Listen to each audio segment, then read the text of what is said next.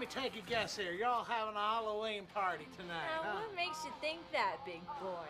Well, you sure are buying a whole mess of holy water for two people. Yeah, we like to get fucked up and do fucked up shit, you know what I mean? Yeah, I like to get fucked up too and do some fucked up shit. Yeah, I bet you do.